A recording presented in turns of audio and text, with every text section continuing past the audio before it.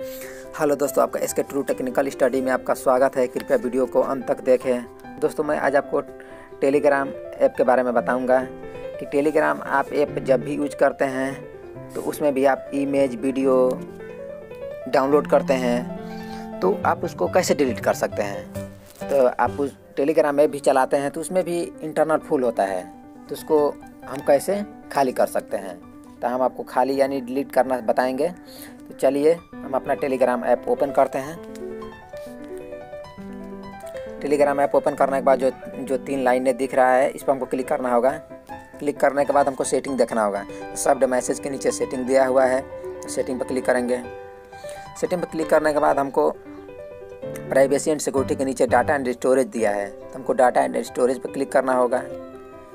Click करने के बाद देखिए, सबसे ऊपर दिख रहा है स्टोरेज यूजेज स्टोरेज यूजेज पर हमको क्लिक करना होगा।